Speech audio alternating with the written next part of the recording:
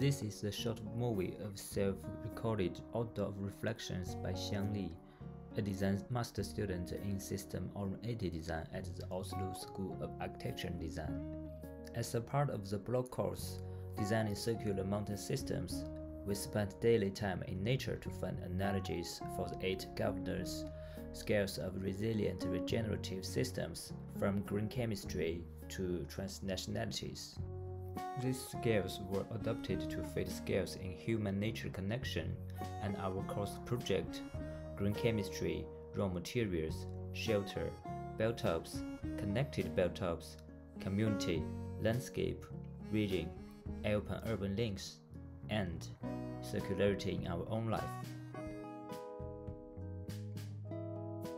What if we make use of wasted natural resources like leaves and branches instead of industrial materials?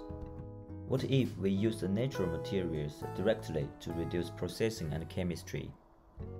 What if we build ski and ski locally to reduce traveling? What if we change the goal of skiing to make fun instead of skiing faster?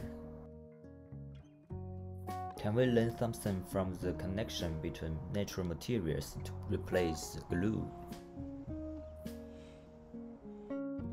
Can we learn something from the natural materials and the structure? Can we make a plant-based layer to absorb shock in skis? If the natural materials is high cost and not durable, is it more sustainable? How can we reuse and repair materials of skis like nature? We build shelter from natural material and support. What is shelter and which is shelter? When I zoom in, I find the shelter of the shelter. There may be not only one shelter at the same time. When shelter collapsed, it can be the other shelter.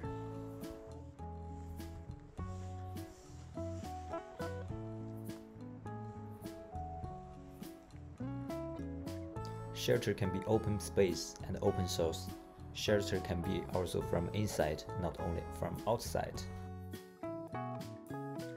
is artificial intervention in biotope negative or positive?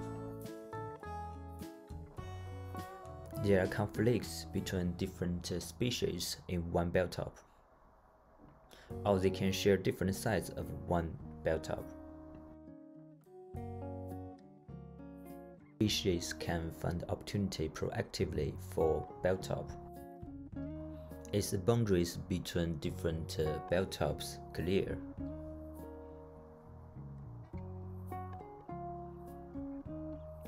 All the boundaries are blurry.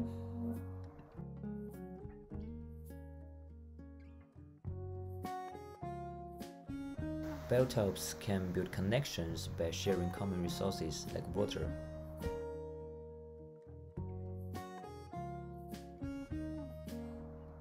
It's a connection between different biotopes for mutual benefits or competition.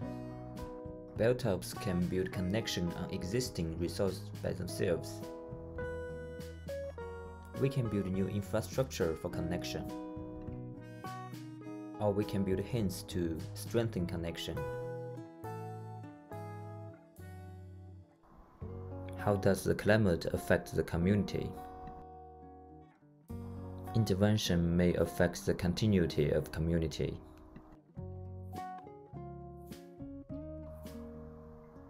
There is a dialogue and connection in common area.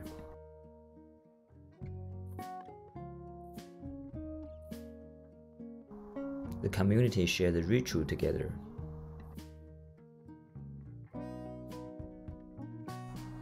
Can we look at the small-scale landscape as mini Hampstead? Landscape and climate can affect the connections and flows. How do humans' activities and infrastructure affect? Landscape can also affect location and speed of material flow. Can it also affect money and information flow? There is diversity in one region. What's their connections? How can we use regional assets in a sustainable way, based on natural resources and social resources? How can we know our footprint on the natural resources? Can we build cultural identity on regional resources to make it different from other regions?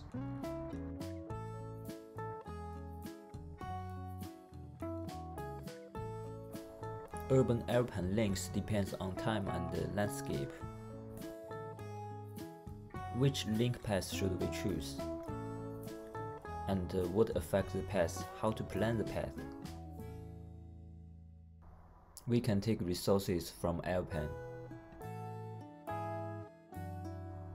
What support can we bring to airplane?